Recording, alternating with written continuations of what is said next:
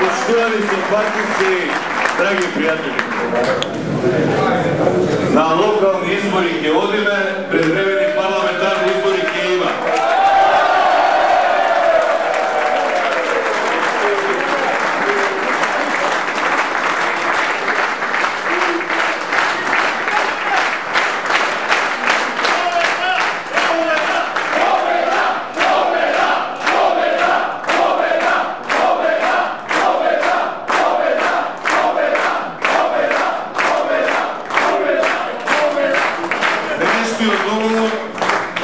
за кој гарантор е Европската Унија покажа дека тогаш кога сме доследни, упорни, кога сме сврсти, кога сме заедно, кога сме сплотени и што е најважно, кога правдата и вистината се на наша страна, се може да се постигне.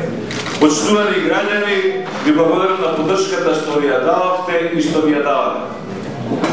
Оваа битка ја почнавме заедно, оваа битка ќе ја продолжиме заедно, Seno kraj do konečno da Pobreza.